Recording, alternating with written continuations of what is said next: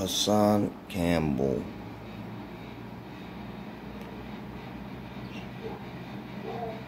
He's pulling guns out on people for views.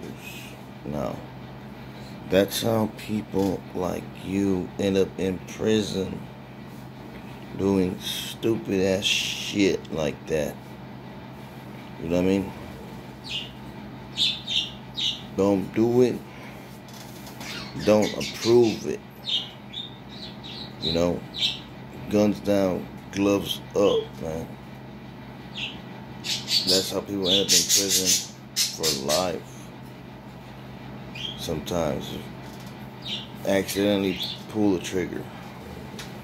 Prison, life, maybe 40 years, half a life. It's almost just as bad.